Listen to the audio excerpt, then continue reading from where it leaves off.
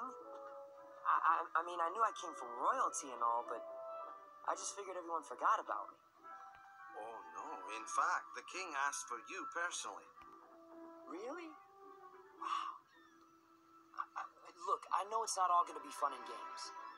It really is all fun and games, actually. Sure, you have to knight a few heroes, launch a ship or two. By the way, make sure you hit the boat just right with the bottle. Boat with a bottle. Any idiot can hit a boat with a bottle. well, I've heard it's harder than it looks. Whoa.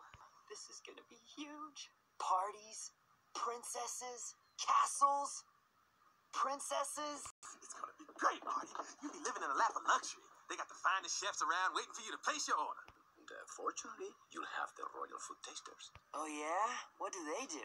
They taste the food before the king eats to make sure it's not uh, poison. Poisoned? Or too salty. Don't worry about it. You'll be safe and sound with the help of your bodyguards. Bodyguards? All of them, willing at a moment's notice to lay down their own lives out of devotion to you. Really?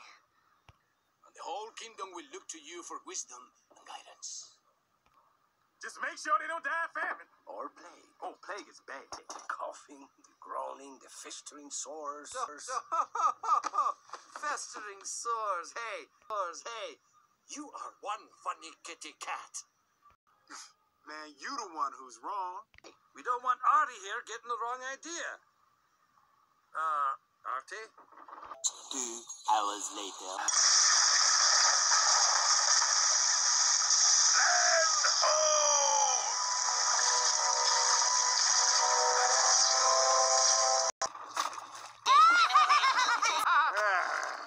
Still think it could be worse? Yeah, I could look like you. Y'all funny. Well, see if you laugh at this. oh, nice going, Your Highness. Oh, so now it's your highness? What happened to loser? Huh?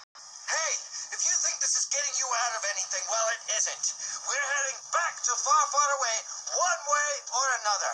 And you're gonna be a father. What? Just said father. You're.